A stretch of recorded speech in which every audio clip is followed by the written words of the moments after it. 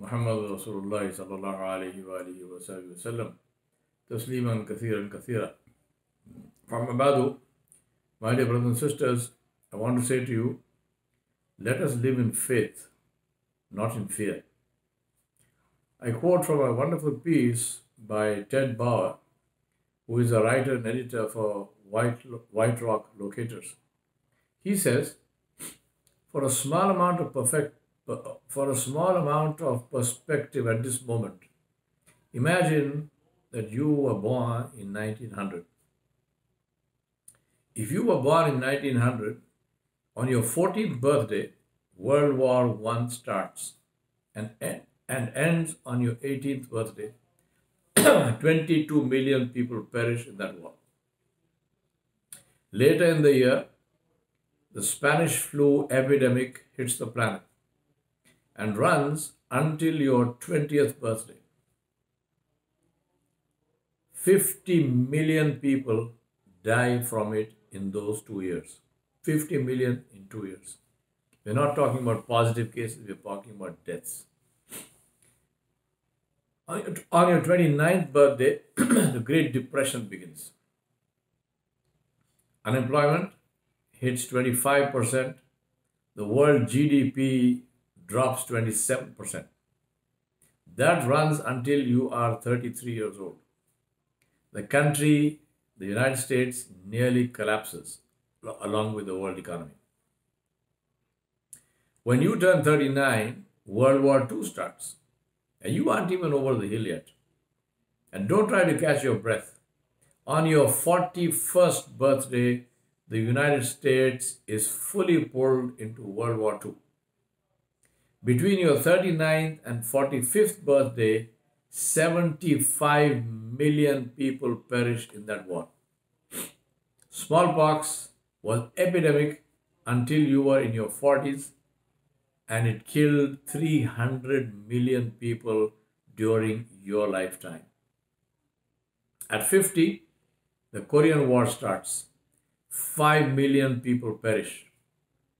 From your birth until you were 55, you dealt with the fear of polio epidemics every summer. You experienced family and friends contracting polio and being paralyzed or dying. At 55, the Vietnam War begins and doesn't end for 20 years. 4 million people perished in that conflict. During the Cold War, you lived every day with the fear of nuclear annihilation. On your 62nd birthday, you have the Cuban Missile Crisis, a tipping point in the Cold War. Life on our planet, as we know it, almost ended. When you turn 75, the Vietnam War finally ends. Think of everyone on the planet born in 1900. How did they endure all of that? Perspective is an amazing art, refined and enlightening as time goes by. Let us try and keep things in perspective. Your parents and or grandparents were called to endure all of the above while you are called to stay home and sit on your couch. What's the difficulty? Now, let me add my own footnotes to this.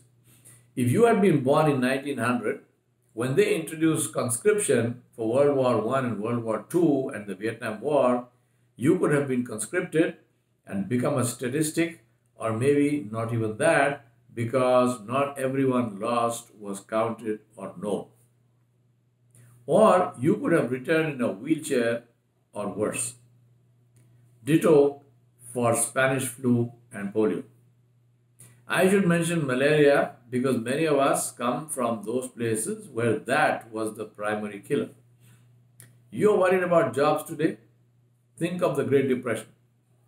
An entire generation perished and an entire way of life was lost, and there were no welfare checks or job loss compensation. My brothers and sisters, today we are living through a unique period of history. We do not choose to live in historically significant times.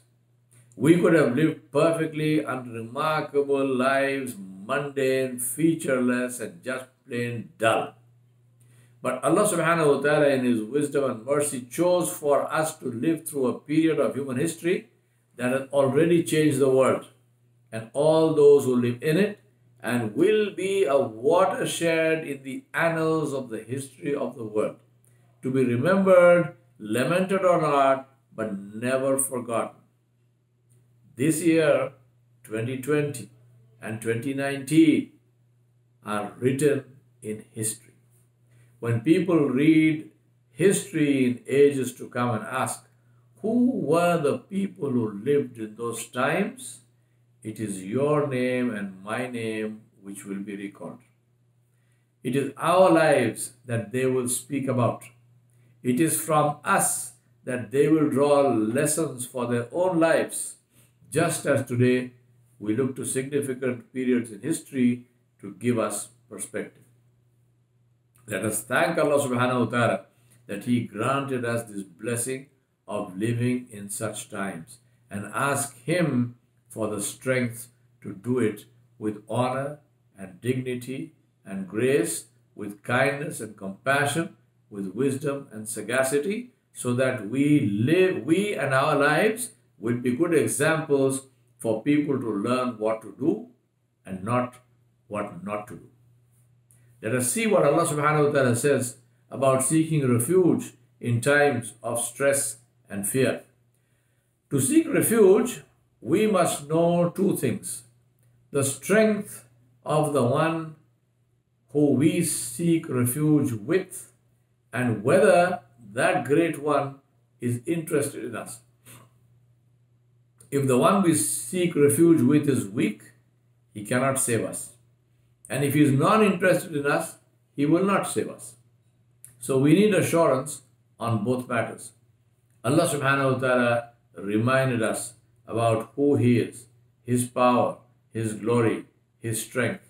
And He said, أعوذ بالله من الشيطان الرجيم هو الذي خلق السماوات والأرض في ستة أيام ثم استوى على العرش يعلم ما يلج في الأرض وما يخرج منها وما ينزل من السماء وما يعرج فيها وهو معكم أينما كنتم والله بما تعملون بصير. Subhanahu wa ta'ala said which means He is the one who created the heavens and the earth in six eons.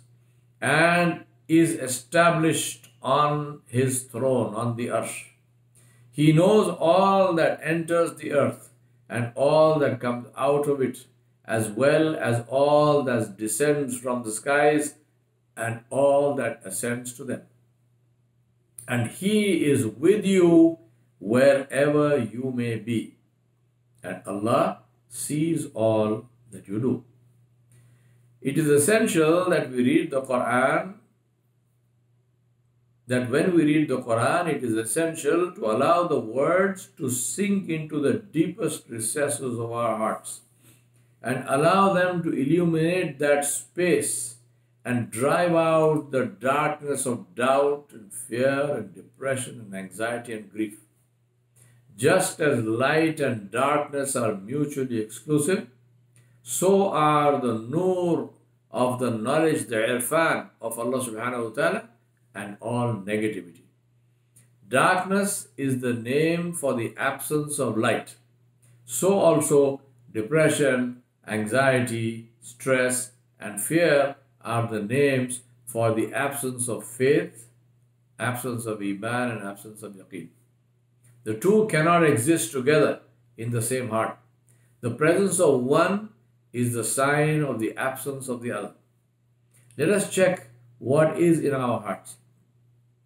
Let us work on lighting the lamp of the nur of Allah subhanahu wa ta'ala by recognizing His signs in the creation around us and in His kalam and ensure that our hearts are alive by checking to see if they respond to it. Allah subhanahu wa ta'ala identified the reaction of our hearts as a metric to judge the health of our faith. Allah subhanahu wa ta'ala said, إنما المؤمنون الذين إذا ذكر الله وجلت قلوبهم وإذا تليت عليهم آياته زادتهم إيمانا وعلى ربهم يتوكلون Allah subhanahu wa ta'ala said in Surah Al-Anfal which means the believers are only those who when Allah subhanahu wa ta'ala is mentioned their hearts shiver with his awe and majesty and glory. And when his ayat, the Quran, are recited unto them, they, these ayat, increase their faith. And these people put their trust in the Rabb Jalla Jalaluhu. My brothers and sisters, I remind you and myself, it is not how much Quran we know, how much we study, how much or how we recite it, but what it does to us. That is the measure of our Iman and a cure for our stress. As we listen to the Quran or recite it, let us stop from time to time and ask, what is this ayah doing to me? Is it doing anything at all? What does that mean in terms of my faith, in terms of my iman and yaqeen? Let us ask this question. Ask Allah subhanahu wa ta'ala to fill your hearts with His glory and majesty, which will automatically drive out every fear and anxiety. Ask what is happening to me when I hear this ayah. Is anything happening or not? Remember what Allah subhanahu wa ta'ala said about what must happen. Is that happening? If it is, may Allah grant you steadfastness and increase your yaqeen. If not, what do you plan to do about that? This is more important than life and death. It's not a life and death matter, it is even more important than that. Allah subhanahu wa ta'ala said, I repeat this ayah of Surah Al Hadid. هو الذي خلق السماوات والأرض في ستة أيام ثم استوى على العرش. يعلم ما يعلم ما يلج في الأرض وما يخرج ما وما يخرج منها وما ينزل من السماء وما يعرج فيها وهو معكم أينما كنتم والله بما تعملون بصير. subhanahu wa ta'ala said, and I repeat this ayah, هو الذي خلق السماوات والأرض في ستة أيام ثم استوى على العرش. يعلم ما يلج في الأرض وما يخرج منها وما ينزل من السماء وما يعرج فيها وهو معكم أينما كنتم. والله بما تعملون بصير.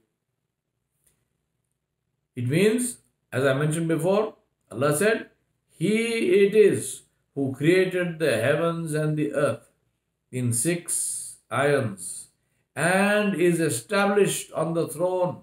He knows all that enters the earth and all that comes out of it, as well as all that descends from the skies and all that ascends to them.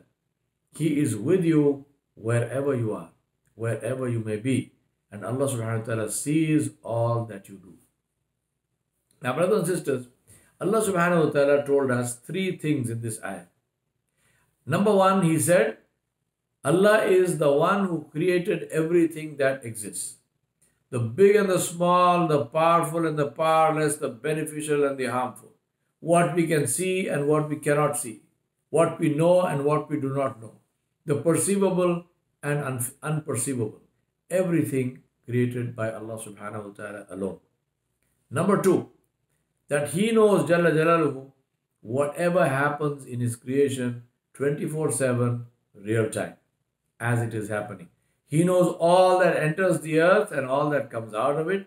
He knows all that descends from the skies and all that ascends to them. He knows because He is the one by whose order it all happens.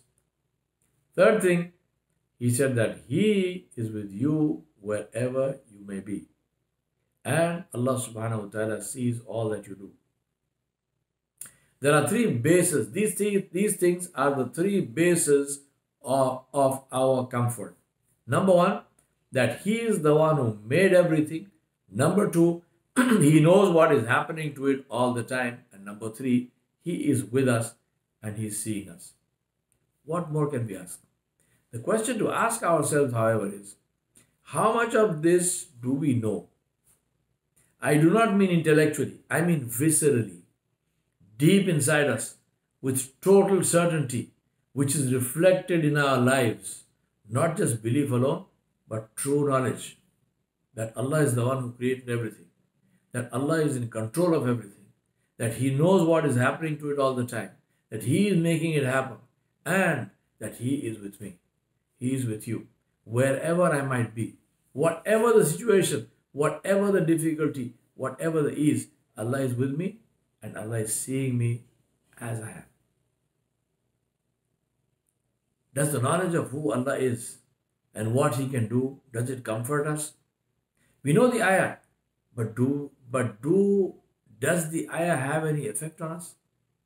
The key is that all this will happen only if we spend time to reflect and work on our relationship with Allah subhanahu wa ta'ala. The only relationship that is primordial and eternal, the only relationship that does not end with death, the only relationship which entitles us to His mercy and forgiveness. The relationship we have thanks to His Messenger Muhammad sallallahu alaihi wasallam, in whose ummah Allah subhanahu wa ta'ala in His infinite mercy and wisdom decided to create us and with whose followership He blessed us. The, the, the, the value of being an ummati of Muhammad wasallam is something that you and I are going to see when we meet Allah subhanahu wa ta'ala on the day of judgment. Allah subhanahu wa ta'ala blessed us with the with being the ummatis of Muhammad. Muhammad is the one whose path is the template for us to follow to become muttaqoon. Knowing Allah subhanahu wa ta'ala, knowing our relationship with Allah, knowing that Allah is with us wherever we may be, has two major benefits. Number one, it is a shield against sin and disobedience. And number two, it's a source of comfort and confidence. It's a shield because the one who knows Allah subhanahu wa ta'ala and feels his presence in his life cannot disobey. He can never look at or listen to or eat or drink or earn or spend or speak or act in a way that Allah subhanahu wa ta'ala prohibited. His constant focus will be on pleasing Allah subhanahu wa ta'ala alone, whose presence he or she is aware of. That is the essence of taqwa. That is the definition of taqwa. It is for the muttaqi that Allah subhanahu wa ta'ala promised. وَمَنْ يَتَّقِ اللَّهَ يَجْعَلْ لَهُ مَخْرَجًا ويرزقه من حيث لا يحتسب ومن يتوكل على الله فهو حسبه إن الله بالغ أمره قد جعل الله لكل شيء قدر Allah said in Surah Talaq, ayah 2 and 3, and whosoever has taqwa of Allah subhanahu wa ta'ala, he, Allah Jalla Jalaluhu, will make a way out for him to get out of every difficulty. And he, Jalla Jalaluhu, will provide him from sources he could never imagine. And whosoever puts his trust in Allah subhanahu wa ta'ala, then he, Allah subhanahu wa ta'ala, will be sufficient for that person. Verily, Allah subhanahu wa ta'ala will accomplish his purpose. Indeed, Allah subhanahu wa ta'ala has set a measure for all things. My brothers and sisters, taqwa is the root of all goodness. Taqwa is reflected in our actions. Taqwa is not what we know, but what we do. Taqwa is the best resource, the greatest wealth. Taqwa is the result when we know that Allah subhanahu wa ta'ala is the creator, the doer, and that He is with us wherever we may be. Taqwa will ensure that all our difficulties are solved and that we are provided from sources we could not have imagined.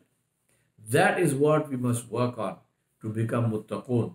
It is those who Allah subhanahu wa ta'ala addressed and he asked, أليس الله بكاف عبده ويخففونك بالذين من دونه ومن يضلل الله فما له من هاد Allah subhanahu wa ta'ala said, Is Allah not sufficient for his slave? And yet they try to frighten you with those imaginary things they worship besides Allah subhanahu wa ta'ala. But he whom Allah subhanahu wa ta'ala leaves to go astray can never find any guide. My brothers and sisters, I ask you and myself, is Allah enough for us? What do you think? Who then are we afraid of? What then are we afraid of? We know Allah is with us. We know that to Him is our return. We know that He is the most merciful, most forgiving.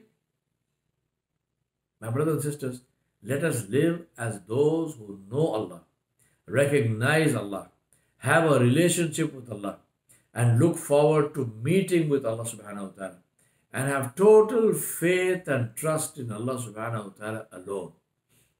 Let us live as the true followers of Muhammad Rasulullah sallallahu alayhi wa wasallam, by whose name, by association with whose name as the ummatis of Muhammad we will be called forth on the day of judgment to stand before Allah subhanahu wa ta'ala. Let us live as role models for others, showing them how to live with dignity and grace, with compassion and courage, with fortitude and strength in times of hardship and danger. Let us use these times to get closer to Allah subhanahu wa ta'ala and to increase our reliance on Him. Let us live in faith, not fear. ربنا ظلمنا أنفسنا وإن لم تغفر لنا وترحمنا لنكونن من الخاسرين. ربنا فاغفر لنا ذنوبنا وكفر عنا سيئاتنا وتوفنا مع الأبرار. وصلى الله على نبي الكريم وعلى آله وصحبه أجمعين. برحمتك يا أرحم الراحمين. والحمد لله رب العالمين. والسلام عليكم ورحمة الله وبركاته.